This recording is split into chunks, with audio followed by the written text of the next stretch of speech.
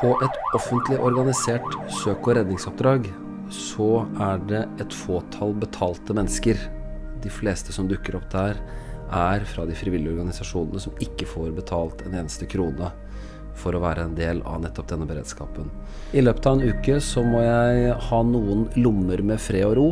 Jeg har rett og slett investert i et drivhus hvor jeg kan dyrke tomater og andre grønnsaker. Og hvor man rett og slett kan se at alt går sakte fremover. Vi fikk alarm ved totiden natt til søndag eh, fra et eh, politidistrikt her i området.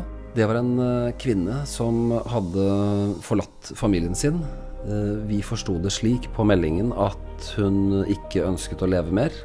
Og etter noen timer med søk, så blir eh, kvinnen funnet av en hundefører. Det er ganske klart at hun, eh, at hun er livløs. Og vi holder på i rundt 40 minutter med hjerte-lungeredning.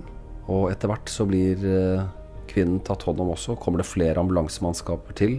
Og da jobber vi frivillige tett sammen med førstelinjetjenesten, altså ambulansetjenesten, på stedet. Et veldig godt og fint samarbeid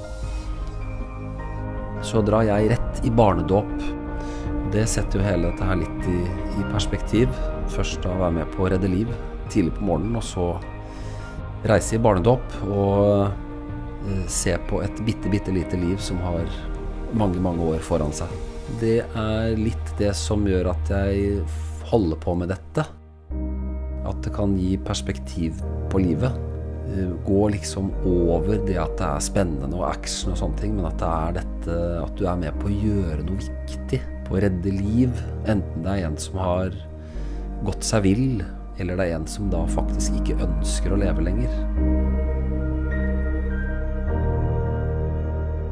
Jeg kan ikke se for meg noe liv uten å bruke mye tid på å være frivillig. For samfunnet går uansett ikke rundt hvis alle skal ha betalt for hver time de legger ned av arbeid. Det går ikke.